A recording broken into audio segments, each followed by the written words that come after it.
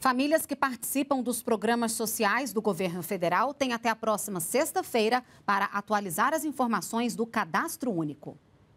A prorrogação do prazo foi um benefício para a Leidiane. A diarista deixou o recadastramento para a última hora e quase fica sem o benefício. Ela tem uma filha de 15 anos que está grávida e o Auxílio Brasil é que tem custeado grande parte das despesas de casa. É um gás, é uma água, é uma luz, é alimentação em casa. O prazo vai até o dia 11 de novembro.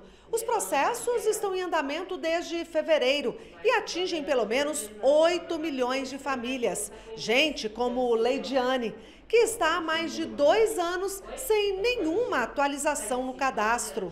As famílias que participam dos programas sociais do governo federal devem atualizar os dados a cada dois anos ou sempre que houver alguma alteração.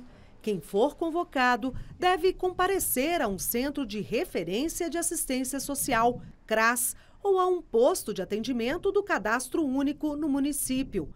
Programas sociais como o Auxílio Brasil, o benefício de prestação continuada, a tarifa social de energia elétrica e a ID Jovem exigem que o cadastro esteja atualizado para que as famílias possam receber os benefícios. O cadastro único é a porta de entrada de todos os programas sociais do governo federal. Então é importante que a população né, faça o seu cadastro e que mantenha o seu cadastro atualizado para fazer jus aos benefícios né, que já recebe, como também de outros. Vou ficar bem atenta, não vou esperar tanto tempo e estar tá anunciando em televisão para mim ter que pegar o puxão de orelha e vir realizar.